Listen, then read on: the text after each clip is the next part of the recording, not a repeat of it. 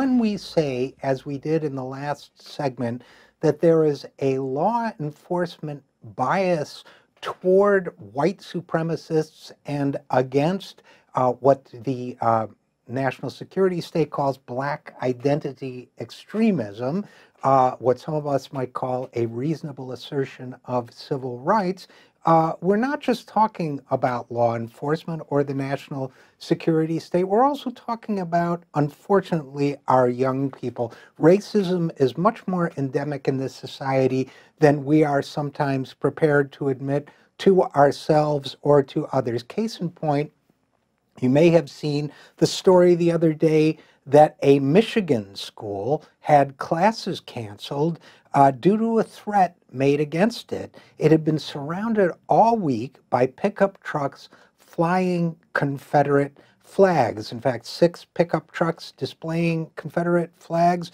uh, appeared outside Bay City Western High School in Michigan, swelled Wednesday to dozens of pickups bearing Confederate flags, Trump campaign flags, Punisher skull flags, which we could talk about another time, but uh, a, a right-wing meme, and and Gag, Gadsden flags associated with the Tea Party movement. Now, they the few, school's few black students say they were frequent targets uh, for this kind of harassment and that it was racism. A student there said, we understand that, that school officials can't stop them, but something needs to be done. We have such a small minority population of students and we're in a conservative area.